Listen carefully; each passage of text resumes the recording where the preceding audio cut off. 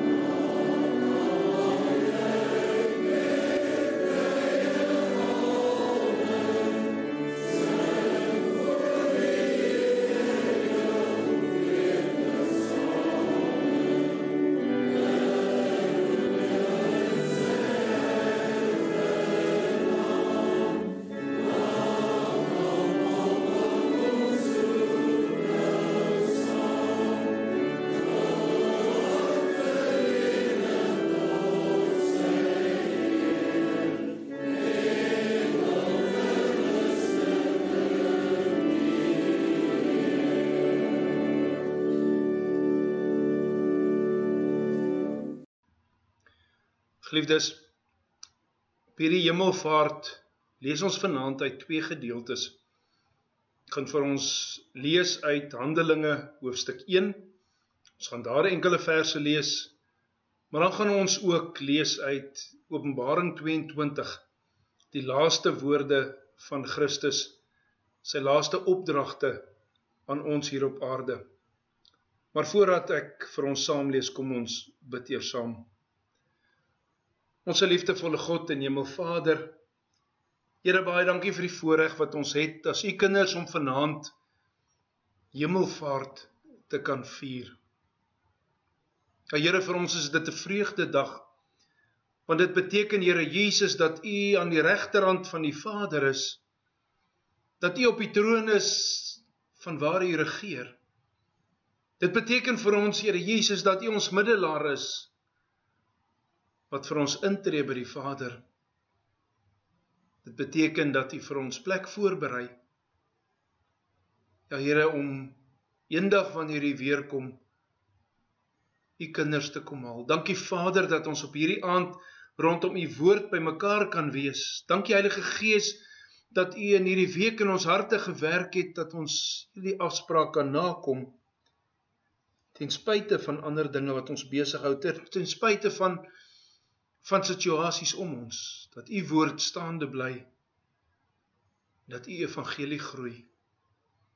Ons loof en ons prys u vanaand en ons vra Here spreek deur u woord want u knegte luister.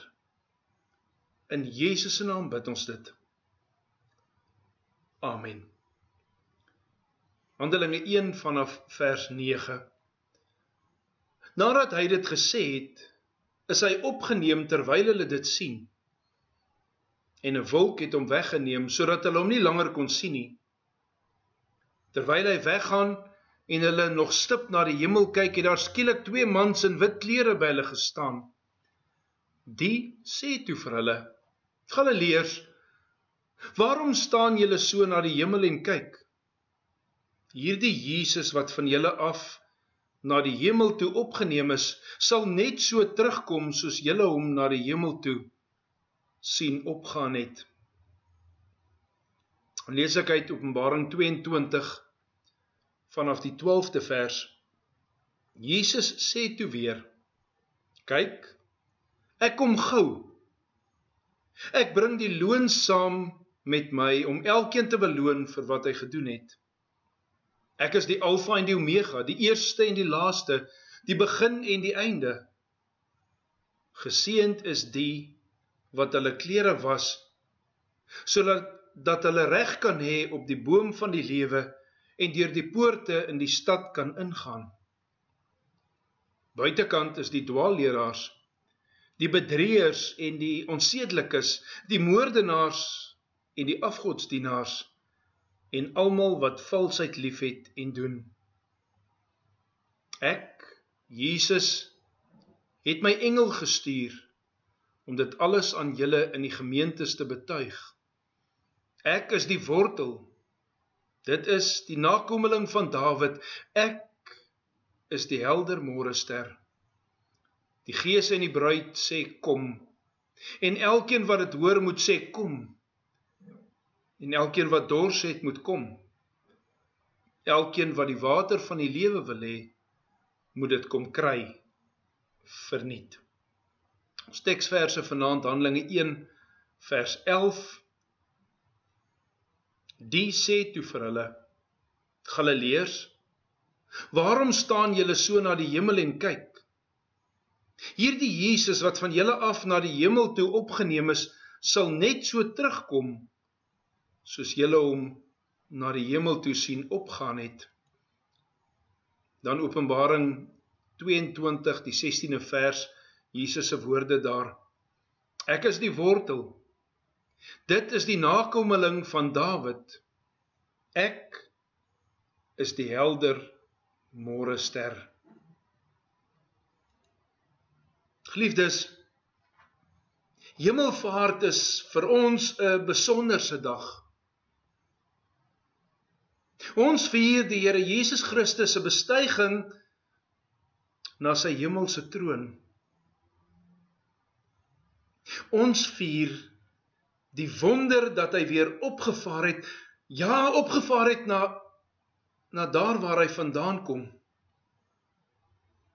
Jy en ek staan vanaand weer as ware saam met die disippels daar in Betanië en ons kyk op op na die hemel En ons hoor weer sy laaste woorde in Handelinge 1 vers 8. Die Here Jesus kom en hy sê vir die disippels: "Maar julle sal krag ontvang wanneer die Heilige Gees oor julle kom.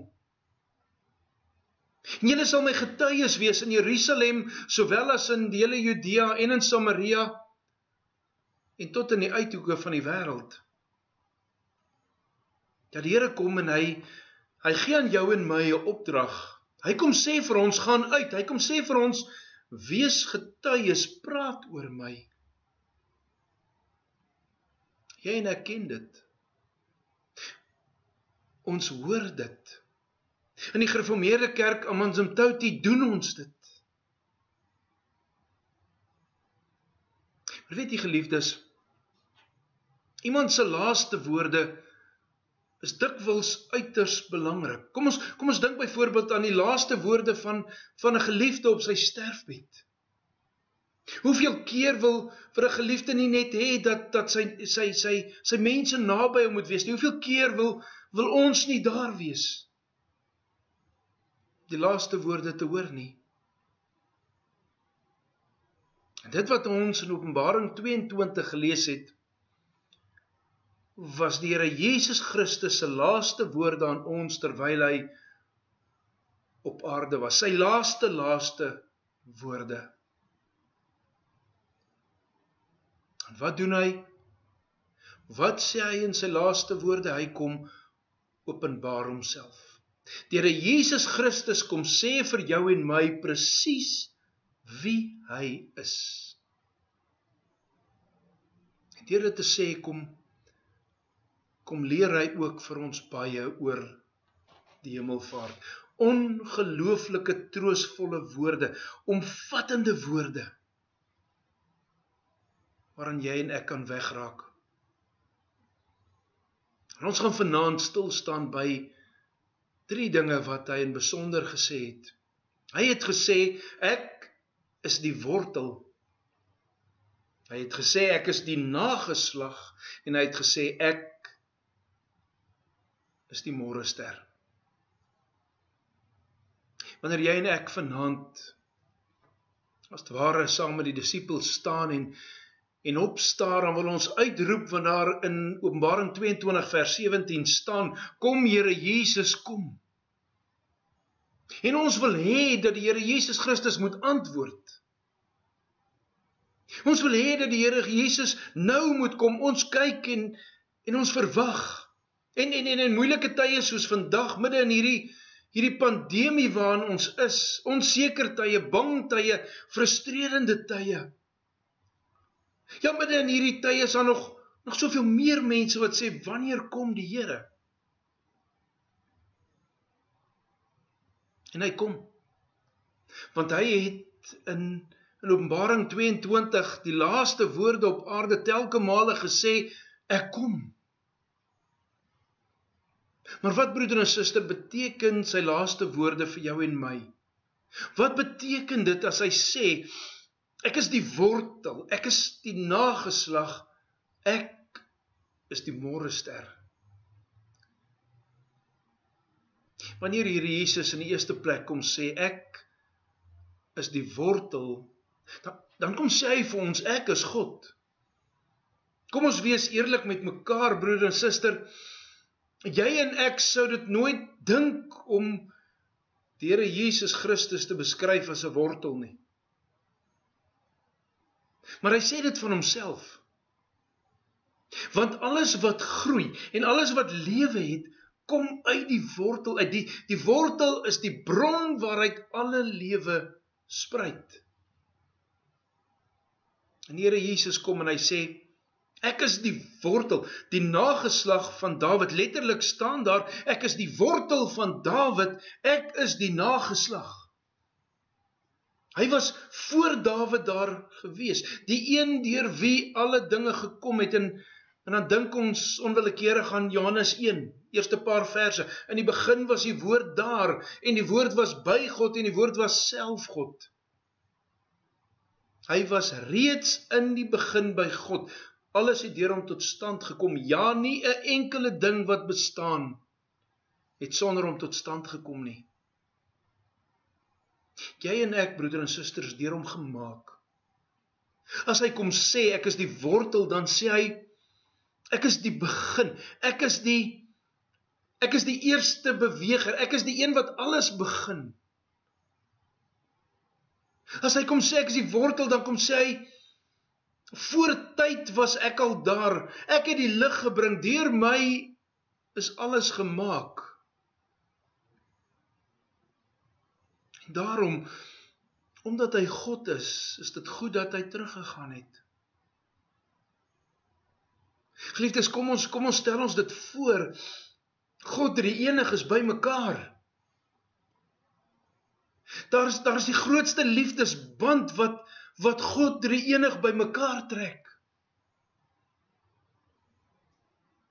En hy as God het opgevaar en nou regeer hy oor alles. Dit is waar God hoort. Maar hy los ons nie. Ons kan kan as ware sê hy hy gee deel van die wortel vir ons. Hy gee sy gees. Die Heilige Gees is in ons. En hy los ons nooit nie. Dit is goed dat die Here God opgevaar het. Dan kom hy in die tweede plek en hy sê ek is die nageslag van Dawid. Wat wil hy daardeur sê? Here Jesus Christus kom en hy sê vir jou en my ek is nie net God nie. Ek is uit die nageslag van Dawid. Gaan lees maar die geslagsregisters al twee wat ons wat ons in die in die, die, die Nuwe Testament en die Evangelies kry.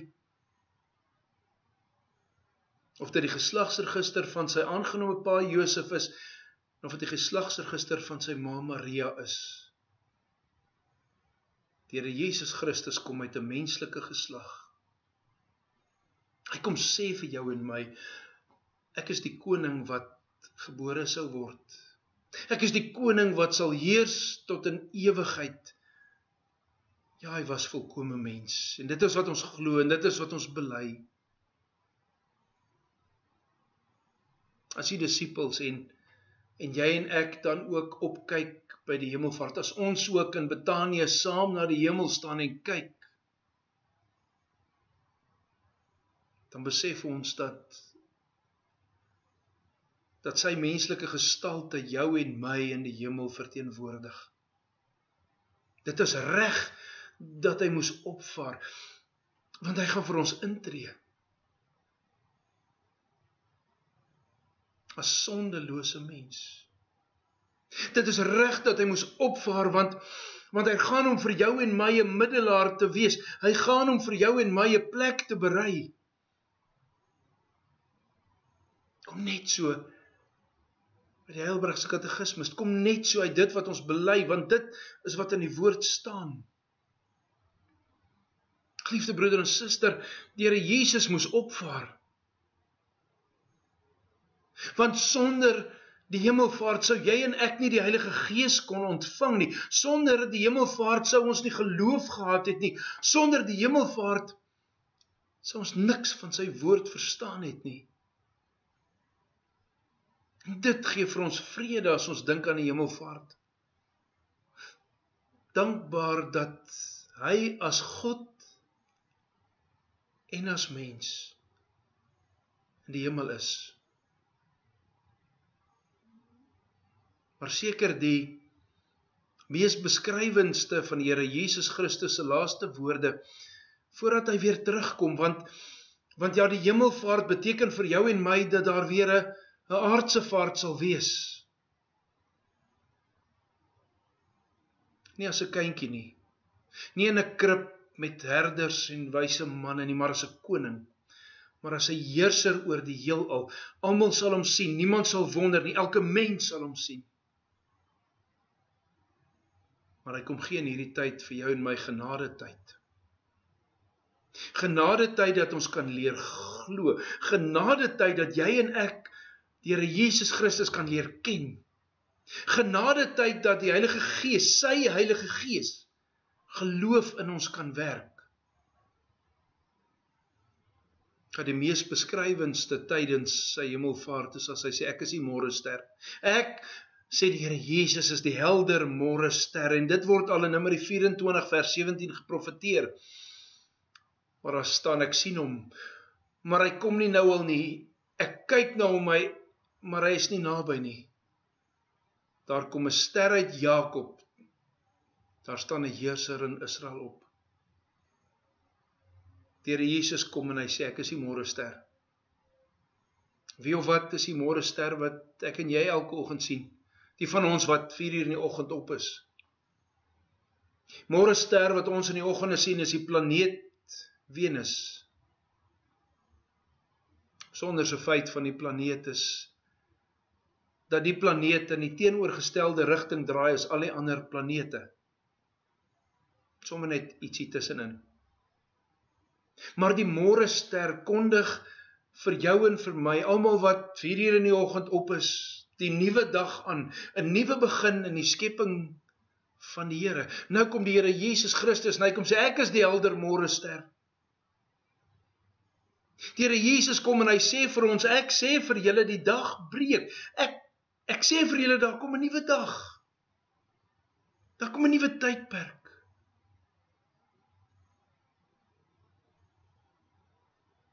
Ja, as jy en ek saam met die disippels in die hemel opstaar en kyk,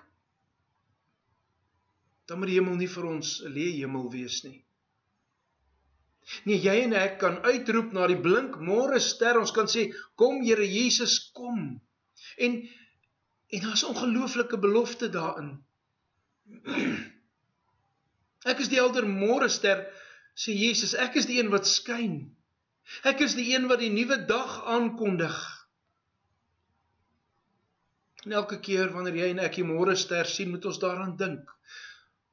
Want dan weet ons die hemel is nie leeg nie. Die ware môre ster is daar, die getuienis dat die Here Jesus Christus weer kom. Dat daar 'n nuwe tyd gaan aanbreek. As ons opkyk na die hemel, dan besef ons hy moes opvaar. Sy plek is by God die Vader want hy is God. As ons opkyk na die hemel, besef ons hy moes opvaar. Daar is 'n mens in die hemel wat vir jou en my intree. As ons opkyk na die hemel, besef ons hy moes opvaar want daar's ook vir my en jou hoop. Daar is 'n nuwe dag, daar is daar is 'n nuwe tyd wat gaan aanbreek. Ons staan vandag saam met die disippels en kyk. En terwyl hy op vir haar seën hy En hoor hy opgaan, hoe weier word sy seun oor die hele aarde totdat sy seun oor die ganse heelal is. Daar is nie 'n plek in die wêreld waar die môre ster nie gesien kan word nie. Die Here Jesus Christus moes opvaar. En ons reaksie Kom Here Jesus, kom. Sy antwoord Die Gees en die bruid sê kom. En elkeen wat dit hoor moet sê kom en elkeen wat dors het moet kom. Elkeen wat die water van die lewe wil hê moet dit kom kry. Verniet. Geliefdes, jy en ek leef nou in genade tyd. Ons kan kom en ons kan ons dors les. Ons kan die lewende water by hom kom kry. Kom Here Jesus. Kom gou. Amen. Kom ons dank saam. Ons liefdevolle God en Hemelvader, hoe kan ons anders as om in dank en in lof uit te breek wanneer ons besef hoe groot u genade is. Vader, u die skepper God. U het saam met die Here Jesus en saam met die die Heilige Gees God drie enig van ewigheid af bepaal dat die dag van die hemelvaart moes plaasvind. En ons wil vanaand kom sê dankie. Dankie Here Jesus dat U as God opgevaar het wat regeer aan die regterhand van die Vader oor die ganse heelal. Dankie dat U Here Jesus as mens opgevaar het ook vir ons middelaar te wees. Dankie Here Jesus dat U deur deur hierdie hemelvaart vir ons hoop gee. Hoop op 'n nuwe ewige toekoms saam met U. Dit is vir ons 'n voorreg. Voorreg dat ons kan deel in hierdie genade, voorreg dat dat ons U genade en U liefde kan ken. help ons deur die Gees om om dit nie as van selfsprekend te aanvaar nie. Ons wil bid Here kom seën ons in hierdie tyd. In hierdie grendeltyd deur 'n wêreld waar waar soveel mense geraak word. Here gee dat ons u hoop in onsself sal hê en sal uitleef en sal uitdeel dat die wêreld die hoop van 'n liefdevolle God kan hê. Dankie Here dat ons saam kan bid. Maar dankie ook dat ons voor U kan kom en kan kniel en kan bely, Here, ons is swak en ons is sondig en dat ons U kan smeek, vergewe ons ons skuld. Here, ons wil U naam kom loof en prys. Want aan U kom toe die koninkryk en die krag en die heerlikheid tot in ewigheid. Amen. Geliefdes ons slotsang vanaand skrifbryming 1-2 die eerste, die tweede en die derde vers.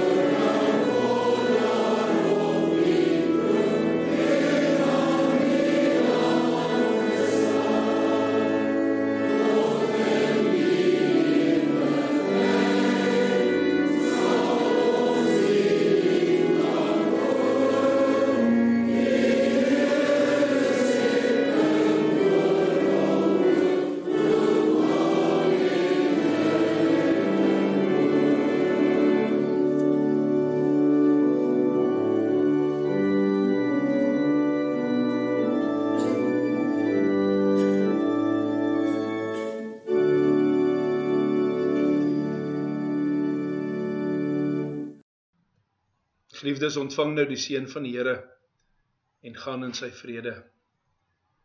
Die Here sal jou seën en jou behoed. Die Here sal sy aangesig oor jou laat skyn en jou genadig wees. Die Here sal sy aangesig oor jou verhef en aan jou sy vrede gee. Amen.